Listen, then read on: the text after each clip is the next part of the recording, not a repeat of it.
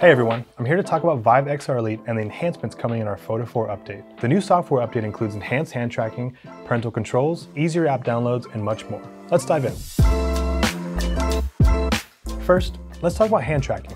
With the latest update, you'll see the hand tracking engine is now more reliable in a wider range of lighting conditions. That means you'll experience better performance overall, particularly in low light conditions. You also see improvements in high brightness conditions, as well as environments with reflective surfaces. Next up, relocation. We originally set the tracking software to be quite cautious in recognizing its surroundings, but this led to some of you having to do room setup too often. So now with FOTA 4, if the headset cannot relocate itself, instead of this triggering the room setup immediately, your Vive XR Elite will first ask you to keep looking around to try to relocate itself before asking you to manually create a new room setup.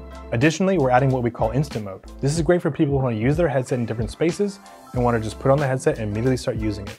Instant mode bypasses the environment setup, putting you in the center of a 3 meter diameter circular boundary, perfect for when you're at home or in the office and you want to quickly just dive into VR without doing any environment setup. You can turn on instant mode in the tracking settings, but please note, this mode never creates a map, so it's best suited for VR as mixed reality experiences tend to require more setup of walls and desks, etc. We've also added some UI changes to enhance your experience. Now it's even easier to navigate through different features and submenus. Plus, we've made improvements to our store interface in our previous update, making it a breeze to explore and access your favorite apps in the library. And for peace of mind, we've also introduced parental controls. This makes it easy to limit the time in headset, choose the content available, and even see what the user is seeing.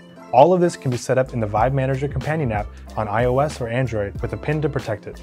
The update will be rolling out globally from June 7th onwards, and you'll receive a notification in the UI when it's available. You can also manually check for it in the settings. Vive streaming has also been updated. It's now quicker and easier to stream thousands of existing PC VR content titles to your Vive XR Elite over USB-C or Wi-Fi, including Wi-Fi 6E where available. Check the link in the description for a full guide on that. Stay tuned for more updates to come, and thanks for watching. See you in the next one.